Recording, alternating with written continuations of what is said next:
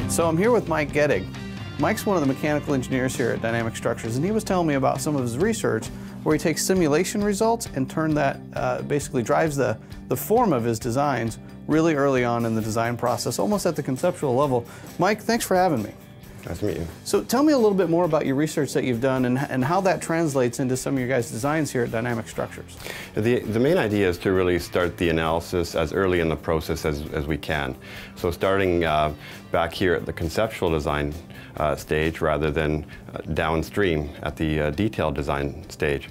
And so there's really several reasons for wanting to do that. Um, first of all, um, to do something early in the design process uh, it, it, helps you save a lot of money and helps you work a lot more uh, efficiently.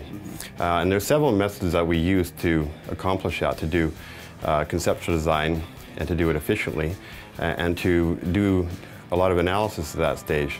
And the main thing that we do here is to use uh, wireframe models or lightweight type um, structural models to help us um, do analysis uh, early. Um, and so there are several um, advantages to lightweight models. They're easy to create, they're easy to modify, and they're efficient to analyze. So that helps us uh, investigate a huge range of possibilities um, early in the game. I think it's one thing to be able to say that you know we do we do analysis up front in design, and it and it uh, it helps us define our form. Show me how that works. How do you take something that you see here on your screen that's, that's largely a, a graph and then turn that into a structural shape? Well, one of the, the uh, differences in our approach uh, is, is, that uh, we use algorithmic design where a structure or, or a mechanism is, is created um, using an algorithm as opposed to uh, created manually. Using an algorithmic approach, you can generate a, a vast range, uh, vast range of different uh, configurations and do that quickly. So it allows you to really explore a huge amount of uh, design space efficiently. Uh, so the algor algorithmic approach is, uh, is, is, key to doing that and, uh, and just driving the whole um, conceptual design uh, workflow using uh, computer programs and parametric designs is, is the key to do that. So, so the, the results basically help you get that, get that right uh, the first time more often. Yeah, yeah, and we have methods also of um, going from that uh, wireframe model into a solid model uh, very efficiently. So it helps to have an automatic um, transfer of information from the conceptual design model into something that looks more like a detailed model once you, you reach the stage where you can do that.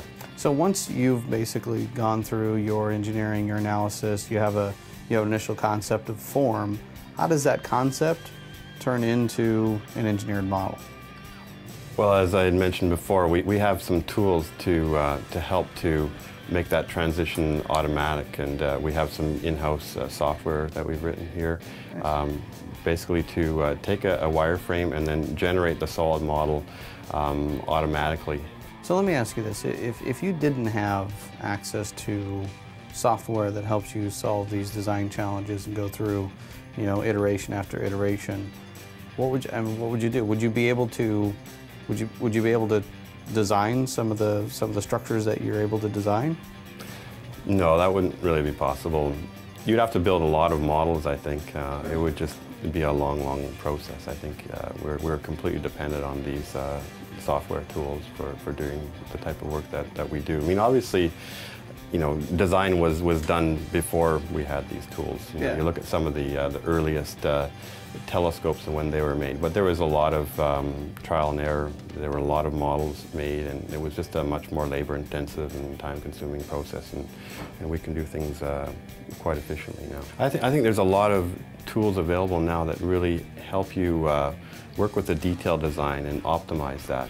I think um, what uh, we really need to see are more tools that help you do conceptual design.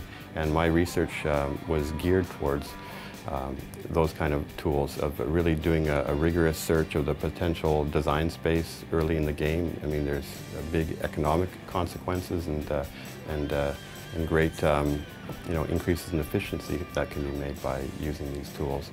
Um, so I, I think um, that's where we need to go, not only in our, in our particular line of work, but I think in, in general. Uh, the more effective conceptual design is done, the, uh, the more efficient we can work. So, Michael, I, th I think that the, the, work that you guys are doing and, and, and, and, taking some of the simulation up front and then uh, turning that into conceptual design is really one of the one of the key differences here at Dynamic Structures, which allows them to make structures and projects that uh, you know in, in, many circles maybe wouldn't even be approached or, or even attempted, let alone uh, let alone built and, and redefining the entertainment industry and certainly setting new standards when it comes to the world of astronomy. So your work is fantastic. Really impressed. Thanks so much, Mike. Thanks. You're welcome. All right, next we hop on over to Emil Van Vuren see how he's using motion analysis tools inside of Autodesk Inventor to determine acceleration rates, motor requirements, and more so that you don't get off the roller coaster holding your neck in pain. Stay tuned.